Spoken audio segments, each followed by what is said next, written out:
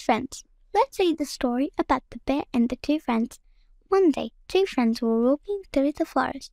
They knew the forest was a dangerous place and that anything could happen, so they promised to remain close to each other in case of any danger. All of a sudden, a big bear was approaching them. One of the friends quickly climbed a nearby tree, leaving the other behind.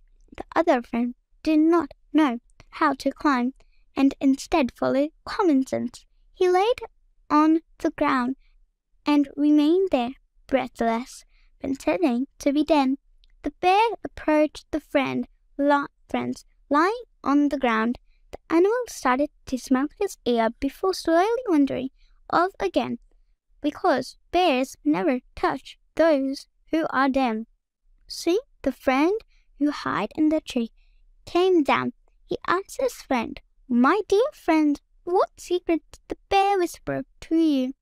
The friend replied that the bear simply advised me never to believe a false friend.